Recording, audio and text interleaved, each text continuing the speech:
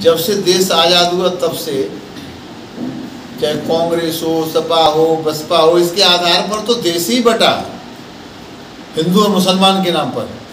अब कहा जाता है हिंदू मुसलमान मत करो, मैं प्रश्न करना चाहता हूँ, इस देश का बंटवारा तो हिंदू मुसलमान के नाम पर ही हुआ।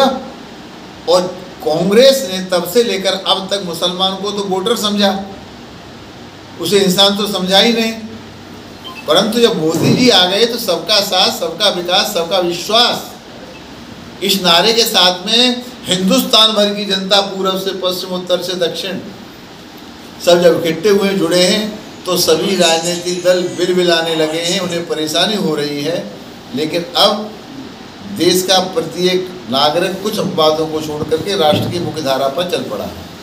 हिंदू संस्कृति और हिंदू धर्म को बदनाम करने के लिए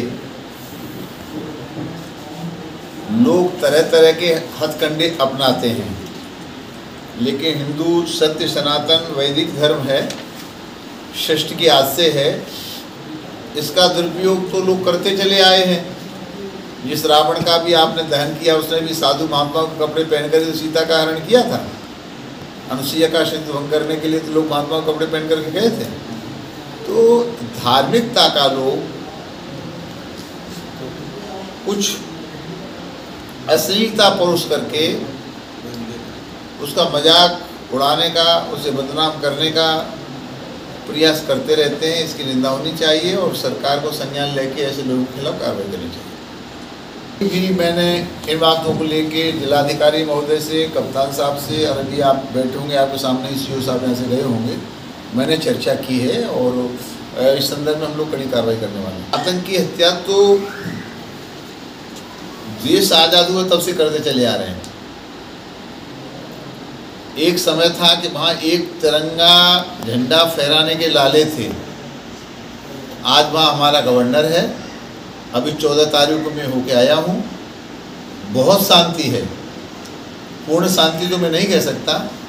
बहुत शांति है।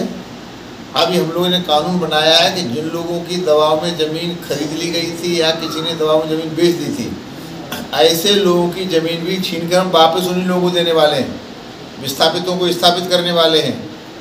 तो कुछ तालिबानी सोच के लोग, आतंकी लोग, पाकिस्तान के लोग बौखला गए हैं और वो बौखलाट में इस प्रकार की घटनाओं को अंजाम दे रहे हैं।